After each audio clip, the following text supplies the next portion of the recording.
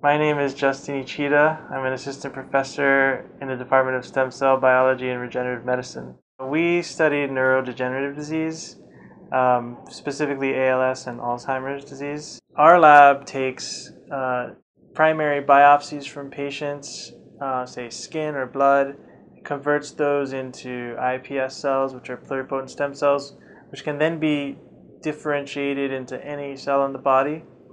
Um, and because they're taken from people that have disease, uh, genetically caused disease, they recapitulate that disease in the petri dish. I was recruited by Andy McMahon, the director of the USC Stem Cell Research Center. I knew what type of science he wanted here.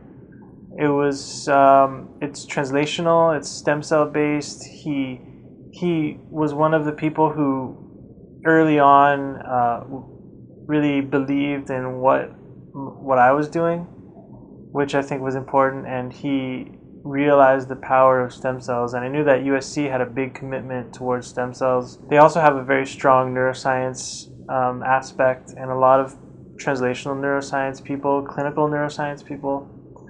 Uh, it has the largest hospital here in the area, so the number of patient samples is huge, which is extremely important for our research.